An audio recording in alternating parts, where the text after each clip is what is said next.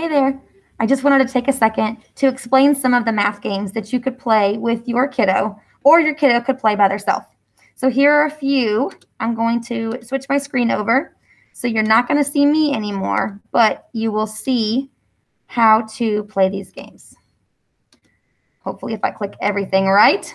Here we go. Okay, so the first game is called Domino War, and it's just like the card game War, only you're going to be using math facts.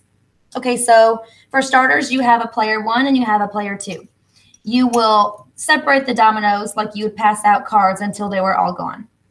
So the first thing that you do is both players would turn over a domino. Okay, and then they're going to multiply these facts. So player one has six times six is 36. Player two has five times four is 20. Because 36 is higher than 20, player one would get the both of those dominoes. Okay. And then you keep playing over and over again until eventually one player is going to have all the dominoes versus the other player. When that happens, the game is over. Or if maybe you are a little bit busy and you cannot or don't have time to play with your student or your kiddo at that time, they could treat these like flashcards and just grab one, flip it over, and practice the fact. Make sure they're saying it out loud, though, so that you can check and make sure that they're accurate. 5 times 3 is 15. Okay? So that's one thing you could do with dominoes. And if you don't have any dominoes, no worries. A deck of cards, you can do almost the exact same thing. Now, this deck is definitely not full, but just is just for the demonstration. You would take a deck of cards. Um, make sure that you take out the jacks, the queens, and the kings first. Keep the aces because they represent the number one. But you would pass out the cards until all the cards are gone.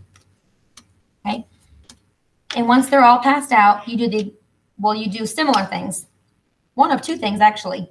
The first type of game that you could play was would be the kind of like a race. You would flip the first card only, and whoever said the fact first would get the cards. So if you were looking at the two and the six, the player who hollered out 12 first would get those cards.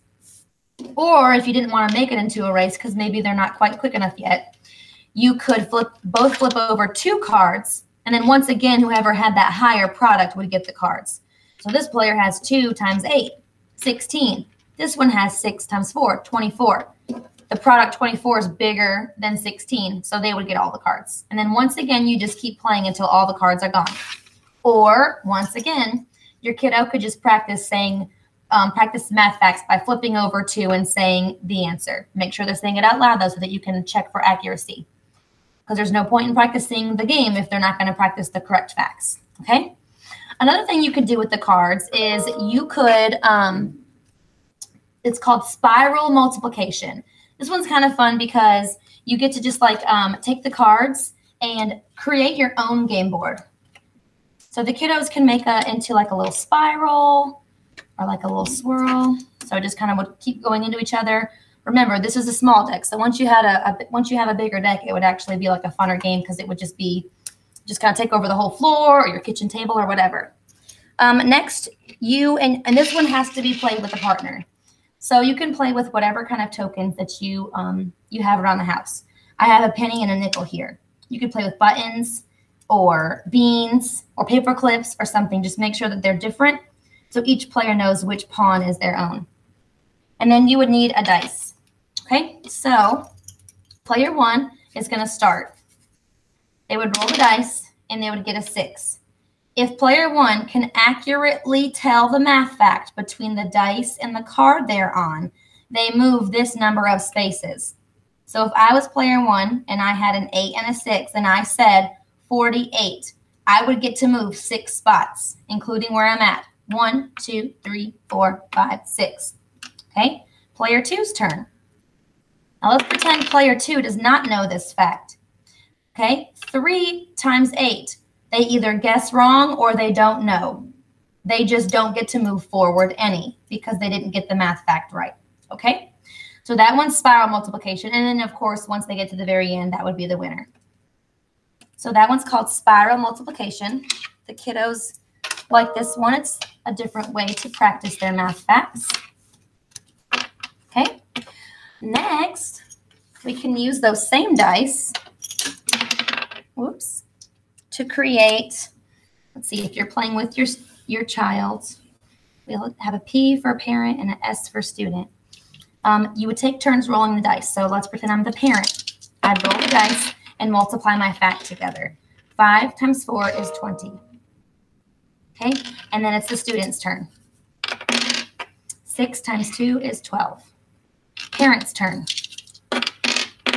6 times 1 is 6. Now I can add these until my next turn.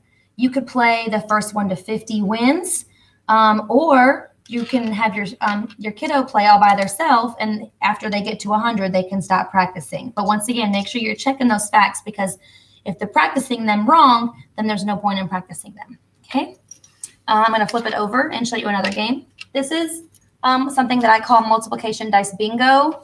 However, it's actually more similar to tic-tac-toe and bingo at the same time.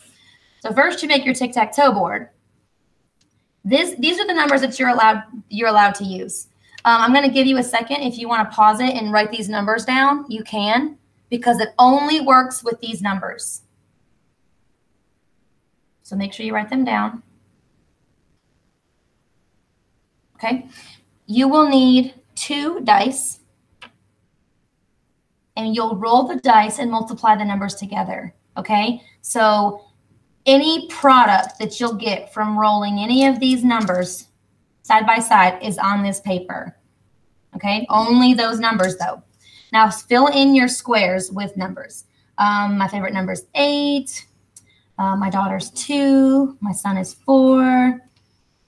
Um, I just like the number 24.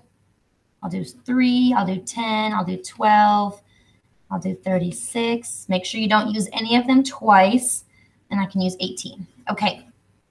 So if you and your kiddo make a board, make sure they're not the same board. You don't want to have the same because it's kind of like bingo in the sense that all the boards are different. You'll go ahead and take turns. You can take turns rolling if you want to, or one of you can just be the roller. Okay. I have four times one. Oh, I have that one.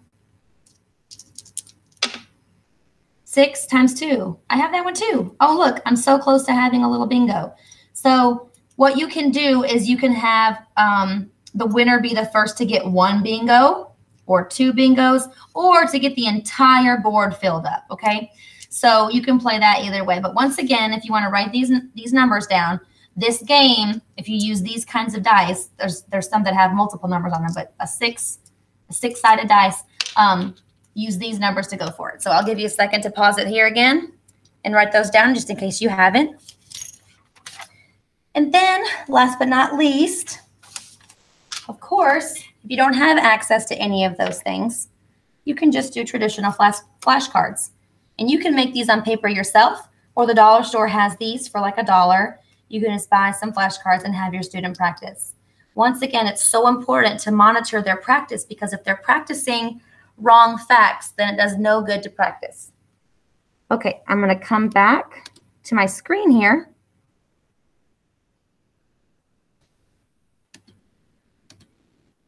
Okay, here I am. Um, I just think that maybe sometimes during math, your kiddo might need a break. They might need to just do some hands-on stuff or even practice for after supper or, you know, when it's not school time. Those are just some fun games that you could play with your kiddo or your kiddo could play on their own. If you don't have access to at least one of these resources, please let me know because I would be super happy to get it to you um, any way that I could. So I hope you enjoyed. I hope you play these games. And I hope you guys have a great rest of the day. Bye.